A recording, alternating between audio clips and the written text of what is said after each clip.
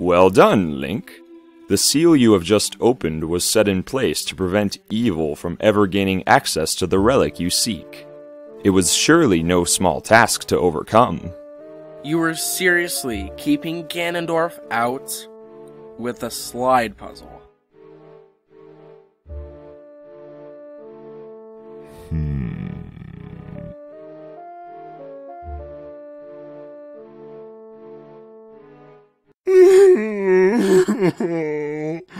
Why does everything have to be so difficult?